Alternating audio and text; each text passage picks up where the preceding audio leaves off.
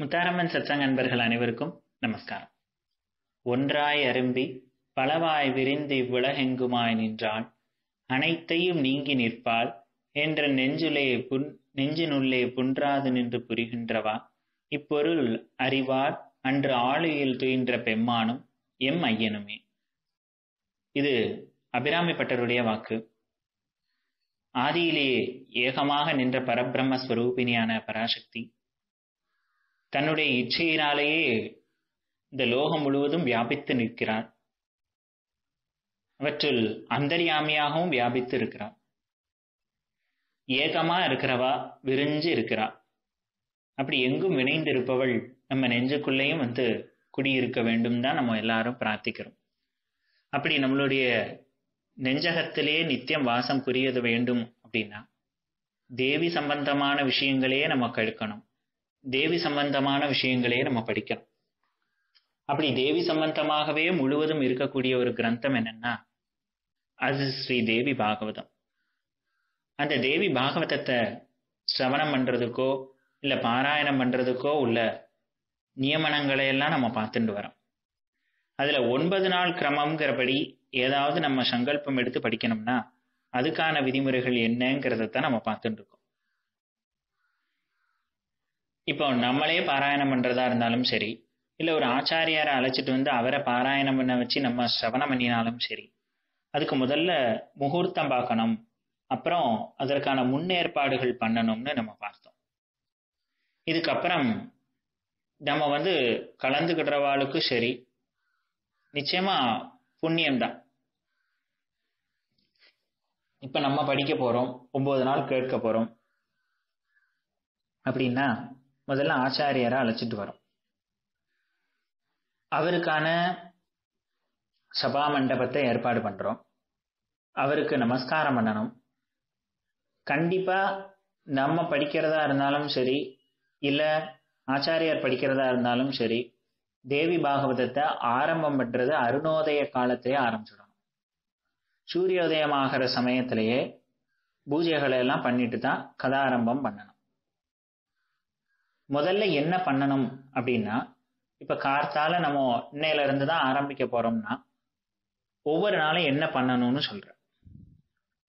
தினமும் கதையை ஆரம்பிக்கிறதுக்கு முன்னக்குட்டி எந்த ஒரு விக்னங்களும் ஏற்படாமல் இருக்கிறதுக்காக மகா கணபதியை பிரார்த்தனை செய்து விக்னேஸ்வர பூஜை நடத்தணும். மகா கணபதியோட பிரசாதத்தை அடையிறதுக்காக முதல்ல இந்த கணபதி பூஜையை நடத்தணும். விக்னேஸ்வரனை பூஜை பண்ணிட்டு அடுத்து கலச ஸ்தாபனம் பண்ணணும்.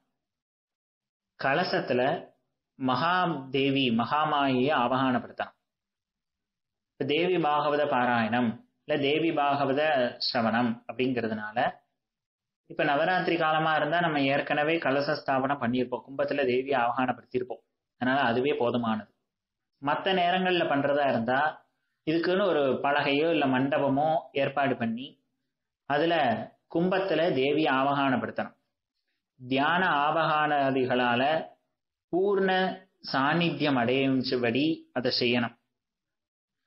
செய்து அதை ஸ்ரீசக்கரத்தை கலசத்திற்கு மேல் பாகத்துல ஸ்தாபனம் பண்ணணும். ஸ்ரீசக்கரம் இருக்கும் இல்லையா? அம்பாளுக்குள்ள ஸ்ரீசக்கர யந்திரம். அதையும் அதிலே பிரதிஷ்ட ஸ்தாபனம் பண்ணணும். செய்து நவாவரண விதியை அனுசரித்து ஸ்ரத்தையுடன் பூஜை செய்யறதுக்காக ஒரு உபாசகனையும் ஸ்தாபகம் பண்ணணும். இப்ப நமக்கே நவாரண பூஜை பண்ண தெரியும் ஸ்ரீ சக்கர பூஜை பண்ண தெரியும்னா நீங்களே பண்ணிக்கிடலாம். இல்லைன்னா இந்த நவாரண பூஜை பண்றவால ஒரு உபாசகனை தேவி உபாசகனை ஸ்தாபகம் பண்ணணும் இதுக்குன்னு. தனியா ஸ்ரீசக்கர பூஜை பண்றதுக்கு. அப்போ முதல்ல கணபதி பூஜை ரெண்டாவது கலச ஸ்தாபனம் மூன்றாவது தேவி ஆவகானம் நான்காவது ஸ்ரீசக்கர பிரதிஷ்ட அஞ்சாவது நவாவரண பூஜை அல்லது ஸ்ரீசக்கர பூஜை. இதை பண்ணணும். இதை பண்ணி முடிச்சதுக்கு அப்புறம் வடுகர் க்ஷேத்திர பாலகர் பூஜை பண்ணணும். வடுக பூஜை க்ஷேத்திர பாலக பூஜை. அதுக்கப்புறம் தேவியோட அறுபத்தி நாலு கோடி யோகினிஸ் இருக்கிறா இல்லையா? அந்த யோகினி கணங்களுக்கு ஒரு பூஜை. யோகினி தேவதைகளுடைய பூஜை நடத்தணும். அதுக்கப்புறம் சப்த மாத்ருகா தேவியோட பூஜை. பிராமி மகேஸ்வரி கௌமாரி வைஷ்ணவி வாராகி ஐந்திரி சாமுண்டா தேவி இருக்கா இல்லையா? சப்த மாத்ருக்கா அந்த சப்த மாத்ருக்கா தேவிகளுக்குன்னு தனியா பூஜைகள் நடத்தணும். அதை முடிச்சதுக்கு அப்புறம் துளசி தேவிக்கு பூஜை நடத்தணும். கண்டிப்பா தேவியோட க்ஷேத்திரங்கள்லயோ இல்ல நம்ம வீடுகள்லயோ துளசி மாதா இருப்பா. அவளுக்கும் பூஜை நடத்தணும். அதை முடிச்சதுக்கு அப்புறம் நவக்கிரக பூஜை நடத்தணும். ஏன்னா நவக்கிரகங்களும் நமக்கு சாதகமா இருக்கணும் இல்லையா? அதனால நவக்கிரக பூஜை. அதை முடிச்சதுக்கு அப்புறம் விஷ்ணு சமார்ச்சனம். விஷ்ணு பகவானுக்கு அர்ச்சனம் பண்ணி அவருக்கு ஒரு பூஜை. அப்புறம் சங்கர சமாராதனம். மகாதேவனுக்கு சிவனுக்கு ஒரு பூஜை. இதெல்லாம் அங்கங்களாக செய்யணும். இதெல்லாம் ஒரு அங்க பூஜைகள் மாதிரி இந்த பூஜைகள். இதெல்லாம் பூர்வாங்க பூஜை மாதிரி. கணபதி பூஜை கலச ஸ்தாபனம் தேவியை ஆபகானப்படுத்தி ஸ்ரீசக்கர பிரதிஷ்டை அதற்கு ஸ்ரீசக்கர ஸ்தாபனம் நவாவரண பூஜை வடுகர் க்ஷேத்திர பாலகர் பூஜை யோகினி பூஜை சப்த மாத்திருக்கா பூஜை துளசி பூஜை நவக்கிரக பூஜை விஷ்ணுவுக்கு ஒரு ஆராதனை சங்கரர் பூஜை. இதெல்லாம் பண்ணி முடிச்சிடும் இதுதான் முதல்ல. இதெல்லாம் செஞ்சுட்டு நவாக்ஷரி மகாமந்திரம். நவாக்ஷரி மந்திரம் உங்களுக்கு உபதேசமாகி இருந்ததுன்னா அந்த மந்திரத்தால ஸ்ரீ பராசக்தியை பூஜை செய்த பிற்பாடு ஸ்ரீ தேவி பாகவதங்கிற புஸ்தகத்தையே பூஜை பண்ணணும்.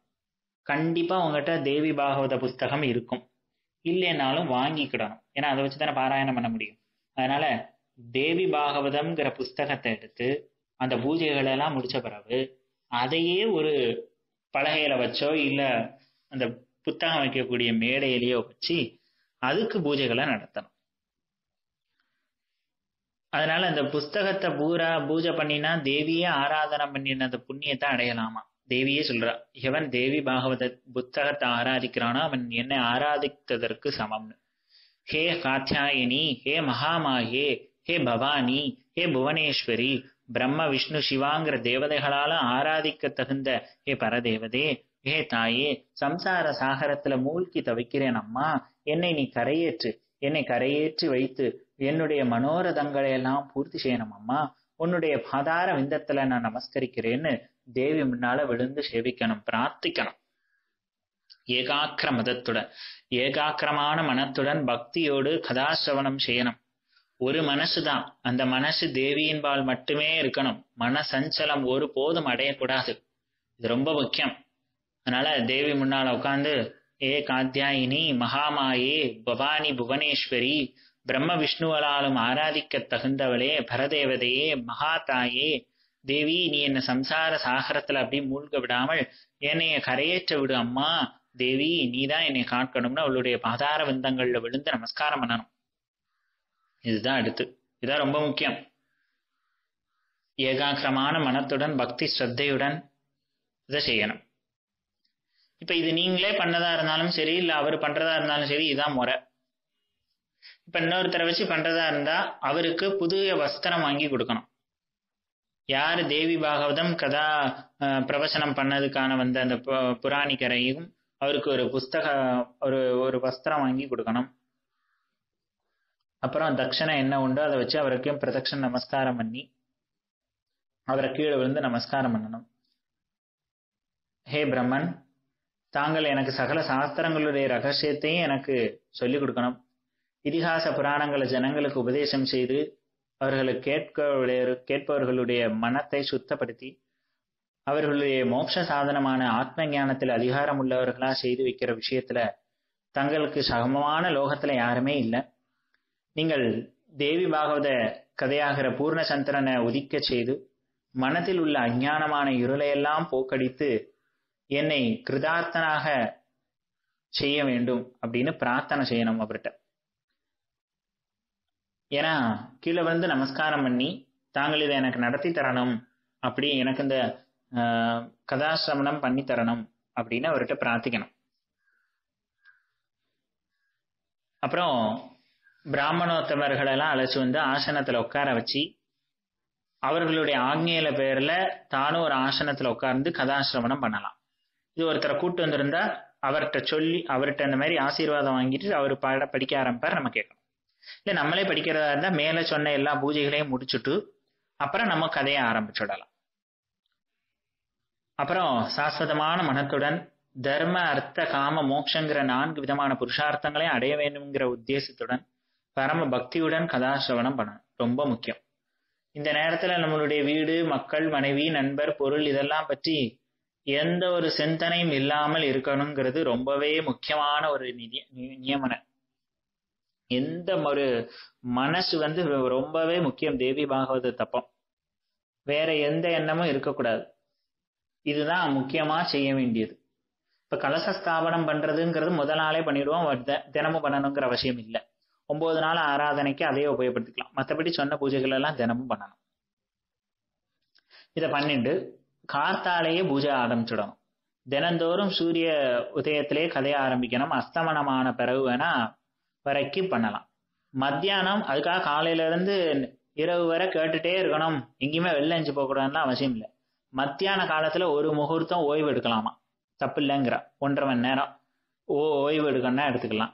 இதுக்கிடையில் நமக்கு வந்து ஏதாவது உபத்திராவம் இல்லாமல் இருப்பதற்காக கொஞ்சம் போஜனம்லாம் செய்யலாம். நமக்கு கொஞ்சம் ஆகாரமாக இருக்கணுமே அப்படிங்கிற ஆகாரம் ஏதாவது ஏற்கனவேங்கிறதுக்காக எழுந்து போகலாம். போஜனம் செஞ்சுக்கிடலாம். ஏதாவது கொஞ்சமா எடுத்துக்கணும். ஒரு வேளை தான் சாப்பிடணும். பழங்கள் ஆகாரம் சாப்பிட்டுக்கிடலாம். ஏன்னா ஒன்பது நாள் விரதம் இருக்கணுமே. இந்த ஒன்பது நாள் தேவி பாகவதம் கேட்கும்போது விரதம் இருக்கணும். அதனால ஒரு நேரம் ஆகாரம் எடுத்துக்கோங்க. மற்ற நேரம் பல ஆகாரங்கள் ஏதாவது எடுத்துக்கிடலாம். ரொம்ப அதிகமாக எடுக்காம கொஞ்சமாக சேர்த்துக்கோங்க. ஏன்னா கதையை கேட்கும்போது கொஞ்சம் தேக ஆரோக்கியமும் இல்லை ஆரோக்கியம் இருந்தால் தானே கேட்க முடியும். அதனால சரீர திருடம் உண்டாகிறதுக்காக கொஞ்சோண்டு ஆகாரம் செய்யலாம். தப்பில்லை. இப்போ தேவி பாகவதம்ங்கிற அந்த கிரந்தத்தை படிக்கிறதுக்கு இதெல்லாம் முதல்ல சொல்லக்கூடியது. இது கண்டிப்பா பண்ணணும். இதை வந்து ஒன்பது தினங்களும் யக்னங்களை யக்ன தினங்களாக பாவிக்கணும். ஒன்பது நாளும் தேவி பாகவத கதையே இதை பண்ணணும். இதை ஒன்பது நாளும் இதே முறைப்படி படிச்சுட்டு நடத்தியதுக்கு அப்புறம் உத்தியாபானம் செய்யணும். அதாவது அற்ப பயனை விரும்பாத மகாஜனங்கள் கதா சிரவணம் பண்ண மாத்திரத்திலே அவங்களுக்கு மனசு சுத்தி அடைந்து மோட்சஸ்தானம்ங்கிறது கிடைக்கும். அதனால இந்த தேவி பாகவதம் ஒரு புஸ்தகத்தை வச்சு படிச்சோம் இல்லையா? அந்த புஸ்தகத்தை பிரசாதமா நம்ம வாங்கிக்கிடணும். அவர் வச்சு படிச்சாருன்னா அந்த புஸ்தகத்தை நம்மளும் வாங்கிக்கலாம். நிறைய பேருக்கு தானமா கொடுக்கலாம். ரொம்ப நல்லது. இதுக்கு இடையில ஒன்பது நாளும் பூஜை முடிஞ்சதுக்கு அப்புறம் அதாவது கதாசிரவணம் பண்ணதுக்கு அப்புறம் ராத்திரி குமாரிகா பூஜை சுவாசினி பூஜை நடத்தணும். இப்போ நவராத்திரி காலமா இருந்தா நம்ம இதை ஏற்கனவே பண்ணுவோம் கன்னியா பூஜை அப்படின்னு குமாரிகா பூஜை இப்போ நடத்துவோம். இதே மற்ற நாளா இருந்தாலும் கண்டிப்பா கதாசிரவணம் மாலையில முடிஞ்சதுக்கு அப்புறம் ராத்திரி குமாரிகா பூஜை சுவாசினி பூஜை அப்புறம் பிராமணர்கள் வந்திருந்தாருன்னா அவர்களுக்கு பிராமண சந்தர்ப்பணை கொடுக்கணும். முதல்ல எல்லாம் கதா தினங்கள்லாம் நடத்தி வந்தா அந்தந்த அதிகாரிகளுக்கு சகல சித்திகளும் கூடி வரும். யார் நடத்துறாலும் அவர்களுக்கு சகல சித்திகளும் கிடைக்கும். சமாப்தி தினத்துல முடிக்கிற அன்னைக்கு சகல தோஷங்களும் உபசாந்தி அடைவதற்கு பொருட்டு இப்ப இதெல்லாம் தினந்தோறும் பண்ணணும். இதை முடிச்சுட்டு முடிகிற அன்னைக்கு மட்டும் காயத்ரி சகசிரநாமத்தையும் இல்ல லலிதா சகசிரநாமம் படிச்சுக்கோங்க.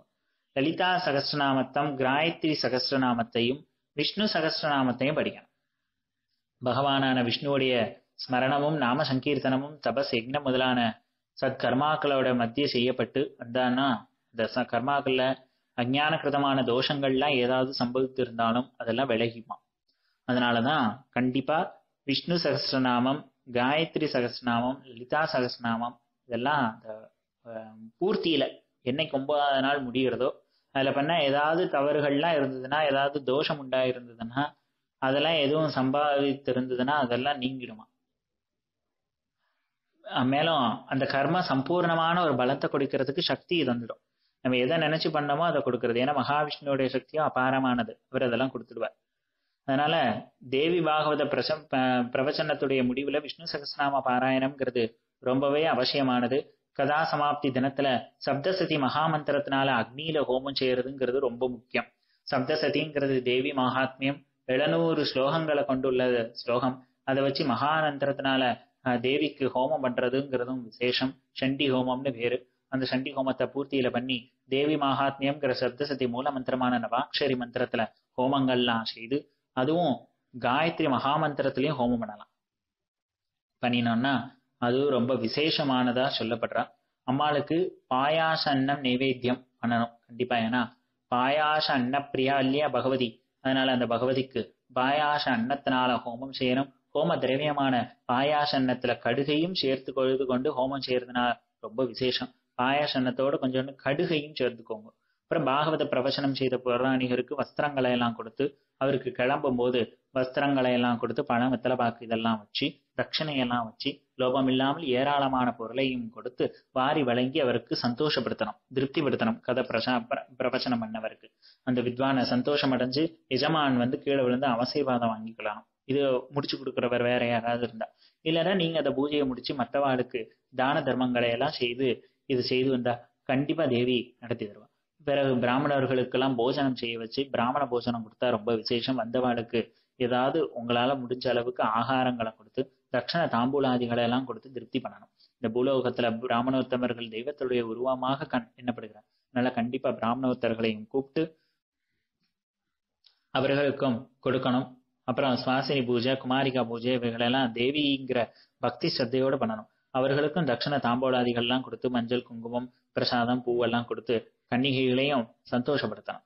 அப்படி பண்ணிட்டு உங்களால முடிஞ்ச தானம் சொர்ண தானமோ கோதானமோ பூதானமோ என்ன தானம் பண்ண முடியுமோ அதெல்லாம் பண்ணணும். நன்றாக எழுதிய திரி தேவி பாகவத கிரந்தத்தை கூட ஸ்வர்ண சிம்மாசனத்துல வச்சு பூஜை பண்ணி வீதாம்பரத்தோட அலங்காரம் பண்ணி அஷ்டமி நவமி திதியிலையோ அந்த ஒன்பதாவது நாள் ஒரு ஒரு ஒரு ஆச்சாரியருக்கு தானமா கொடுத்துட்டா அதை விட பெரிய பலனே இல்லைன்னு சொல்லுவா. அந்த அளவுக்கு விசேஷமான தானமாக அது சொல்லப்படுறது. ஆக என்ன தானம் உங்களுக்கு முடியுமோ அந்த தானத்தை முடிஞ்ச அளவுக்கு உங்களுடைய சௌகரியங்களுக்கு ஏற்ப செய்து வந்தா தேவி பகவதி நீ ரொம்ப சந்தோஷப்படுறான். ஆக அந்த ஒன்பது நாளும் பக்தி ஸ்ரத்தையுடன் எந்த ஒரு மன சஞ்சலங்களும் இல்லாமல் மேலே சொன்ன விதிகளோடு ஒன்பது நாள் பக்தி ஸ்ரத்தையோடு தேவி பாகவதத்தை பாராயணம் பண்ணாலோ இல்ல ஒரு ஆச்சாரியரை வச்சு படிக்க சொல்லி சிரவணம் பண்ணினாலோ கண்டிப்பாக அவர்களுக்கு என்ன நினைச்சு என்ன சங்கல்பம் பண்ணி அந்த ஒன்பது நாள் ஆராதனை பண்ணாலோ அது கண்டிப்பா முடிக்கிறதுக்குள்ள உங்களுக்கு கண்டிப்பா கிடைச்சே ஆகும். ஒன்பதாவது தினத்துல பூர்த்தி பண்றதுக்குள்ள தேவி உங்களுக்கு பூர்த்தி பண்ணி வைப்பள். இது சத்தியம். இதுல இருந்து எந்த ஒரு மாற்றமே கிடையாது. அதனால அது செய்து அப்புறம் அந்த புராணிக்கரை வழி அனுப்பி வைக்கணும். நல்லபடியா முடிச்சு தந்தைகள்னு அவரை நடத்தி வைக்கணும். தான தர்மங்கள்லாம் கொடுத்து. அப்போ இந்த தேவி பாகவதம்ங்கிறது பக்தி ஸ்ரத்தையுடன் பண்ணினா அவ்வளவு ஒரு விசேஷமான ஒரு நல்ல ஒரு இதை கொடுக்கக்கூடியது. சிரவணம் செய்தாலும் எல்லா விதமான பலம் சித்திக்குமா? அதை காட்டிலும் நூறு மடங்கு அதிகமான மகாபலத்தை தரக்கூடியது ஸ்ரீ தேவி பாகவத கதாசிரவணத்துல. அதனால ரொம்பவே சிரேஷ்டமானது தேவி பாகவதம். அந்த உயர்ந்த கிரந்தத்தை படிக்கிறதுக்கோ கேட்கறதுக்கோ உள்ள நியமனங்களை நம்ம இன்னைக்கு ஓரளவு சிந்தனை பண்ணியிருக்கிறோம். தொடர்ந்து தேவி பாகவத இதுல என்னெல்லாம் இருக்குங்கிறத பார்த்து அதனால என்னென்ன புண்ணியங்கள் நமக்கு கிடைக்கிறதுங்கிறதையும் அடுத்த பதிவுல பார்த்து தாமதிக்காம நம்ம தேவி பாகவதத்துக்குள்ள போவோம். ரொம்ப நாள் நான் இழுக்க மாட்டேன் இன்னும். இதோட அவதாரிக்க கொஞ்சம் ஓரளவு உங்களுக்கு முக்கியமான விஷயங்கள் எல்லாம் சொல்லியாச்சு. சரிங்களா? அதனால இத கேட்டதுக்கு அப்புறம் இதையும் கேட்டுட்டேன்னு இந்த பதிவை கேட்டுட்டேன்னு எனக்கு நீங்கள் கேட்டு முடிச்சதுக்கப்புறம் ஒரு மெசேஜ் போட்டிங்கன்னா நான் ரொம்ப சந்தோஷம் பண்ணுவேன். சந்தோஷம் அடைவேன். அப்புறம் இன்னைக்கு ஏதாவது கேள்வியாக கேட்கலான்னு நினைக்கிறேன். இப்போ மந்திர ஜபங்கள் அப்படிங்கிறது இதில் சொல்லியிருந்தேன். ஒரு ஒரு மந்திரத்தை வச்சு பூஜை பண்ணணும் அப்படின்னு. அது என்ன மந்திரம்னு சொல்லுங்க. சரிங்களா? தேவியை ஆரவகானம் பண்ணினதுக்கு விஷ்ணு சமாராதனம் சங்கர சமாராதனம்லாம் பண்ணதுக்கு அப்புறம் தேவி எந்த மந்திரத்தினால பூஜை பண்ணணும் மந்திரம் உபதேசமா இருந்ததுன்னா தேவையா அந்த மந்திரத்தினால பண்ணுங்க. அது என்ன மந்திரம்ங்கிறத மட்டும் விடையாக எழுதி அனுப்புங்க நன்றி வணக்கம்.